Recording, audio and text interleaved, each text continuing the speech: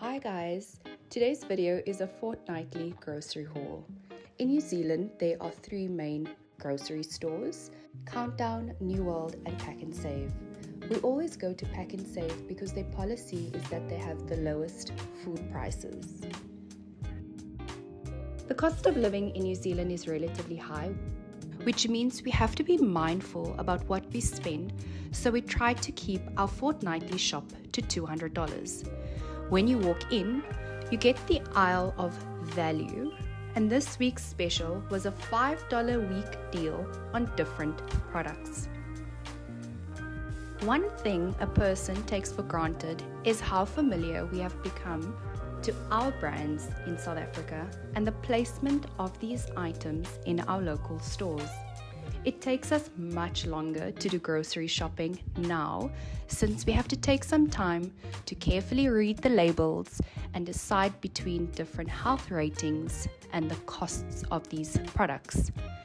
It's taken us some time to get used to the new brands, but I presume that it will get easier and we have already found some food items and brands that we enjoy. We love that Pak'nSave has boxes at the checkout kiosk for you to use instead of plastic bags, which are non biodegradable and an environmental hazard.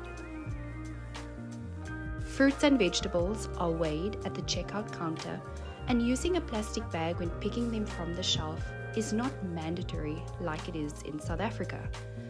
As a whole, New Zealand takes the environment and recycling very seriously, and this is something we have also had to come to terms with and are much more aware of how much waste our household produces.